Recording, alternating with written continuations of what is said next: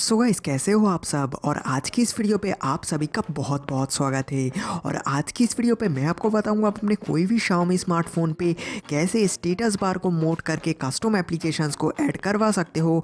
Like आप अपने phone में यूज़ कर रहे हो व्हाट्सएप फेसबुक इंस्टाग्राम उन सारे के सारे एप्लीकेशंस को कैसे आप स्टेटस बार पे लाइक इस तरीके से लगा सकते हो। सो so कैसे लगाना है और कैसे ऐड करना है कस्टम एप्लीकेशंस को स्टेटस बार पे, जानने के लिए इस वीडियो को आखिर तक ज़रूर देखना है। So without any more wasting time, let's get started.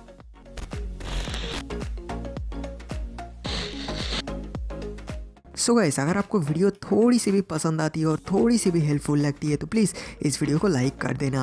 आपके एक लाइक से मुझे बहुत ही इंस्पिरेशन एंड बहुत ही मोटिवेशन मिल जाता है। सो प्लीज़ आप लाइक कर देना। सो गाइस इसे यूज़ करने के लिए आपको कुछ भी नहीं करना है। मैं सिंपली आपको एक ऐसा तरीका बताऊँगा जिसे यूज़ करके काफ़ी आराम से आप इसे यूज़ कर सकते हो। सो चलिए स्टार्ट करते हैं। सो सबसे पहले मैं इस एप्लीकेशन को यूज़ करूँगा। एक एप्लीकेशन को तो उस एप्लीकेशन का मैं डाउनलोड लिंक डिस्क्रिप्शन पर प्रोवाइड कर दूँगा। आप चाहे तो वहाँ से डाउनलोड कर सकते हो। और अगर आप चाहते हो प्ले स्टोर से डायरेक्टली डाउनलोड करना तो सिंपली आपको जाना होगा प्ले स्टोर पर। एंड आप, यहाँ पर आपको सर्च करना होगा ऐप टाइल्स तो ऐप टाइल सर्च करने से आपको एप्लीकेशन देखने को मिल जाएगा। सो सिंपली आपको इस एप्लीकेशन को डाउनलोड कर लेना है। ये काफ़ी अच्छा और काफ़ी मार्केट में नया नया आया है। ये एप्लीकेशन काफ़ी अच्छी तरीके से वर्क कर रहा है। सो सिंपली आपको इस एप्लीकेशन को डाउनलोड कर लेना है। डाउनलोड करने के बाद आपको सिंपल सेटअप कर लेना है। इस सेटअप करने में आपको पूरा मक्खन की तरह सेटअप हो जाएगा। आपको कुछ भी झंझट नहीं है सेटअप करने के लिए। इसलिए मैं सेटअप प्रोसेस को स्किप कर दिया। सो यहाँ पर सेटअप कंप्लीट हो जाने के बाद यहाँ आपको यहाँ पर काफ़ी सारे एप्लीकेशन के शॉर्टकट आपको यहाँ पर देखने को मिल जाएगा।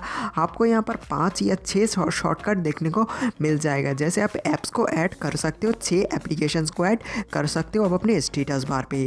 जैसे मैं यहाँ पर फ़र्स्ट को यहाँ पर व्हाट्सएप सिलेक्ट कर देता हूँ, दूसरे को यूट्यूब एंड तीसरे को फेसबुक एंड चार नंबर को मैंने क्रोम पे सिलेक्ट कर दिया। सो यहाँ पर सिलेक्ट करने के बाद आप जितने भी एप्लीकेशन को चाहते हो, यहाँ पर से सिलेक्ट कर लेना। सिलेक्ट हो जाने के बाद आपको सिंपली बैक पे जाना है एंड देन होम पे जाना है।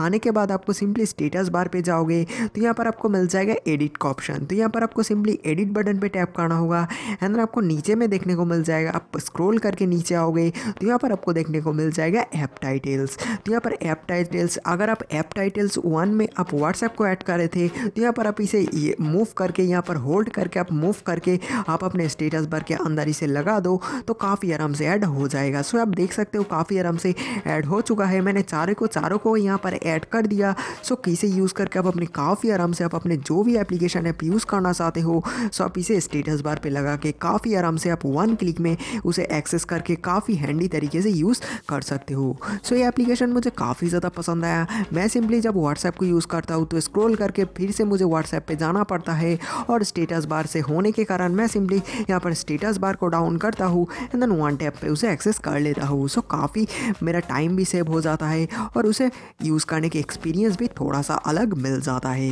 को इस तरीके का वीडियो और भी चाहिए तो मुझे कमेंट कर देना, और अगर आपको शाओमी रिलेटेड कॉन्टेंट आपको पसंद है तो प्लीज़ मेरे चैनल को सब्सक्राइब कर लो। उसमें आपको शाओमी रिलेटेड सारे के सारे टेक न्यूज़ कॉन्टेंट्स आपको देखने को मिल जाएगा। सो इस वीडियो को देखने के लिए आपको बहुत बहुत धन्यवाद।